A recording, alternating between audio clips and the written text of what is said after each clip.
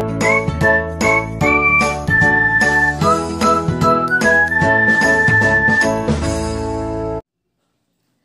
everyone, this is Shweta. Welcome to my classes. Today we will be understanding the concept of electrochemical cell. So now like let us first understand what is electrochemical cell. Okay. So here I have written the definition. What it says an electrochemical cell is a device okay which converts electrical energy into chemical energy or chemical energy into electrical energy. Like very simple definition, isn't it? What it says here only name itself says no electrochemical cell means your electrical energy can be converted into chemical energy or chemical energy can be converted into electrical energy. Understanding? That is what actual meaning means. If we supply electricity, then a chemical reaction takes place or in turn any chemical reaction will react to give the electricity. So this is nothing but your electrochemical cell. So that is a device which will do these both the operations either chemical to electrical or electrical to chemical. Okay. So this is about the definition of electrochemical cell. Okay. So now let us learn the types of electrochemical cell. There are two types of electrochemical cell. How many types are there?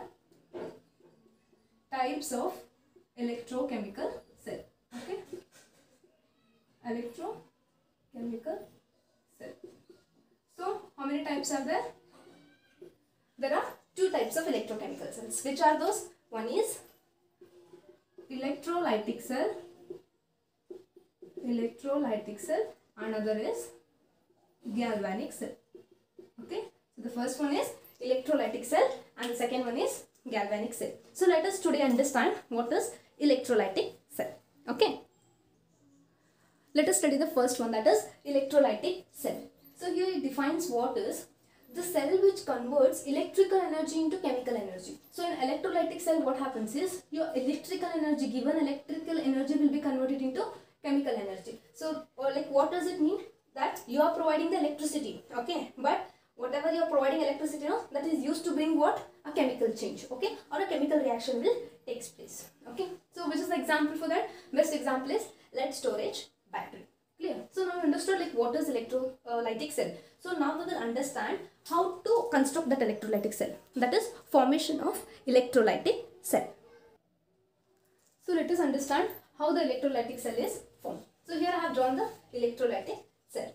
So here what i have taken? I have taken the dilute solution of NaCl i have taken the dilute solution of NaCl okay in a container. Okay? Then here you can see the two electrodes. These are two electrodes made up of platinum you can take it as platinum electrodes okay? Platinum. Clear?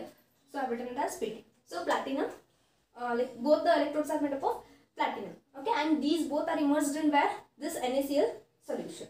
And now you can see that these both electrodes are connected to the battery okay? And you know that this is negative sign and this is positive sign. This is the symbol of battery okay? Small indicates negative and capital indicates positive. This you have learned in physics okay? So now they are connected to the battery and you can see that left electrode. This is called as left and this is called as right. I am taking this as left and this as my right okay? So this left electrode is what? It is connected to the negative terminal. And what it is doing it is supplying the electrons. You can see here. So it supplies the electrons to the left electrode. So what is happening is because this electron is negatively charged these electrons are negatively charged hence it is supplying the electrons to this. So this whole electrode will be made as negative. So i can take this electrode as negative so I have shown the sign negative here.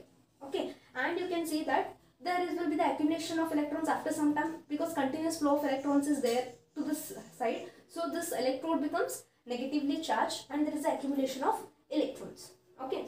And what this electrode is actually doing, it is accepting the electrons. Yes or no? So and you know that gain of electrons means what? Gain of electrons. You know that it is oxidation or reduction. Gain of electrons means it is reduction. You have already studied. Okay? So now it is gaining the electrons. So i can tell that at this particular electrode what is happening?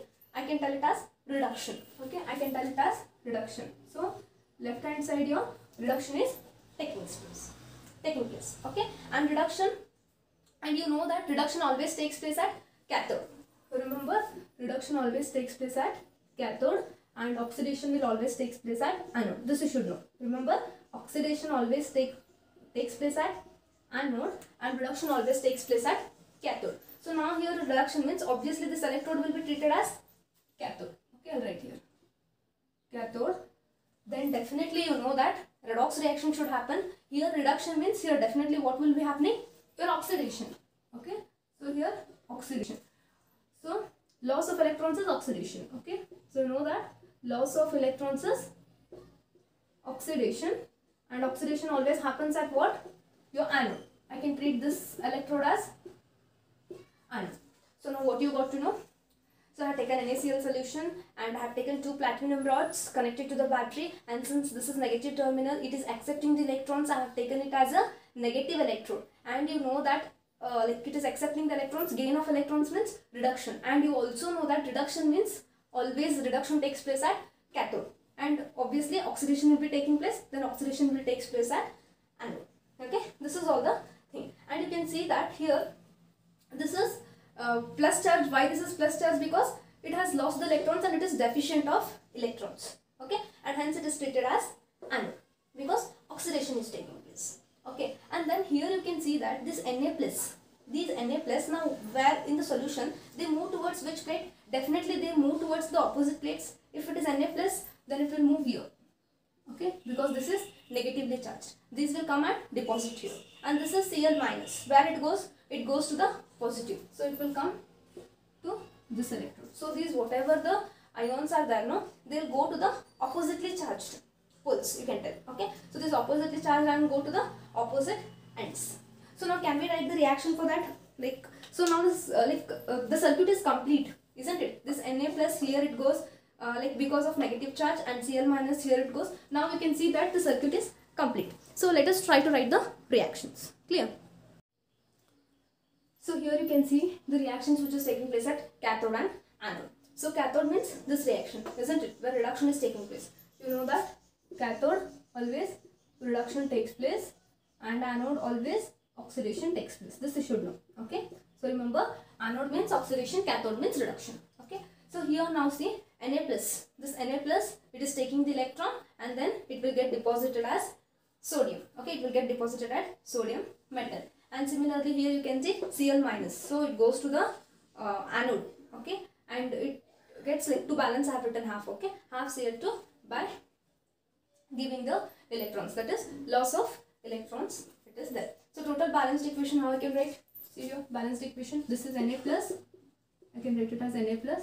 Here Mm, plus Cl minus plus 1 electron gives rise to here Na plus half Cl2 plus 1 electron. So this both electron will get cancelled and this will be the overall reaction. Okay. So this is how your uh, formation of electrolytic cell takes place. Okay. It is just simple like your uh, NaCl solution is taken with the two platinum electrodes and definitely cathode will be there, anode will be there, uh, redox reaction will takes place because a chemical uh, change should happen isn't it? Chemical reaction should take place. So here in electrolytic cell what we can like in this we can summarize this whatever your electrical energy is there, no, whatever out of battery, okay, electrical energy that will be converted into chemical energy. I hope you understood what is electrolytic cell. Thank you.